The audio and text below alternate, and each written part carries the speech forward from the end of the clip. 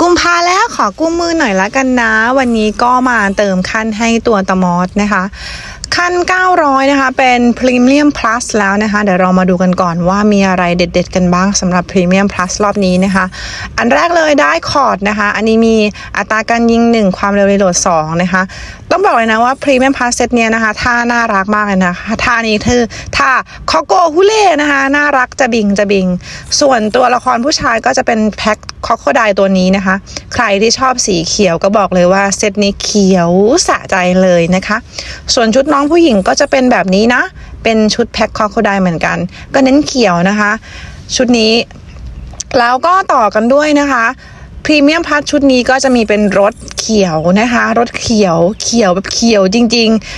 แล้วก็จะมีเป็นในส่วนของของที่ให้อีกเยอะแยะมากมายเลยนะคะในเซตนะคะ แต่ที่มันเด็ดนะคะมันอยู่ตรงนี้นะคะ premium plus เซตนี้ได้ตัวละครใหม่ด้วยนะคะ ตัวละครตัวนี้นะคะสามารถสลับร่างได้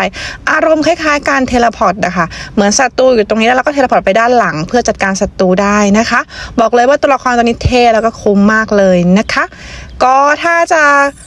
ยังไม่หมดนะคะ ก็จะมีเป็นระเบิดด้วยนะคะ ก็เซตนี้อย่างที่บอกเลยถูกใจสายชอบสีเขียว รออะไรนะคะ จัดไปนะคะ 900 นะคะ เรียบร้อยแล้วนะคะ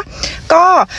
ต้นเดือนแล้วนะคะก็อย่ารีบอย่าลืมรีบไปเติมขั้นกันนะคะ หลังจากที่เติม 900 ก็จะได้มาเลย 50เลวล50เลเวลนะคะก็จะได้ของตามนี้เลยนะคะ กด 900 ปุ๊บก็จะได้ไปเลยที่เลเวล 50 นะคะ เสร็จแล้วไปทำงานดีกว่า ขอให้ทุกคนโชคดีกับเดือนแห่งความรักนะคะ